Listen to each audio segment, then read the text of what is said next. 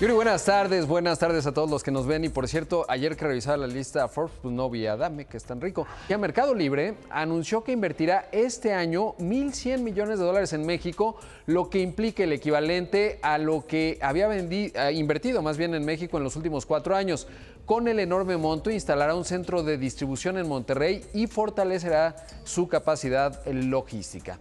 Por otro lado, la economía mexicana da ciertas señales de recuperación. Hoy se publicó la inversión correspondiente al primer mes del año y se observa una recuperación mes con mes de 3%, es decir, enero contra diciembre.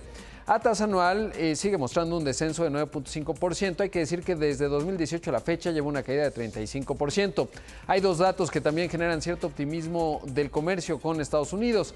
En febrero, México volvió a superar a China y Canadá como el principal socio comercial por volumen de eh, la mayor economía del planeta. Otro dato positivo es que las importaciones crecieron 8.5%, lo que muestra que se va reactivando el consumo, eh, lo cual es pues muy positivo. Lo negativo fue que las exportaciones de México en el mes de febrero hacia la Unión Americana, que representa el 82% de lo que exportamos, cayeron 5.6%. A lo mejor afectó el tema de los vehículos y los apagones en febrero, pero ojalá esto se recupere pronto.